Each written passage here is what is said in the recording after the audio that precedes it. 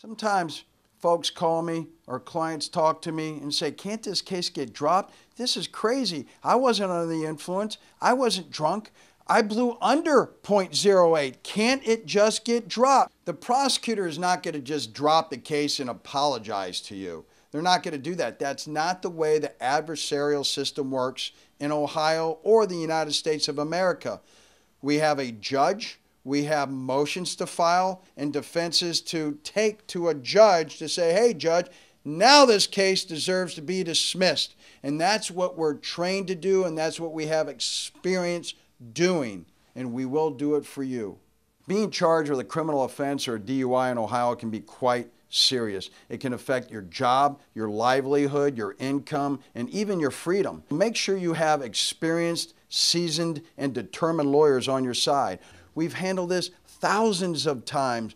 So if you're stopped by the man, call the man.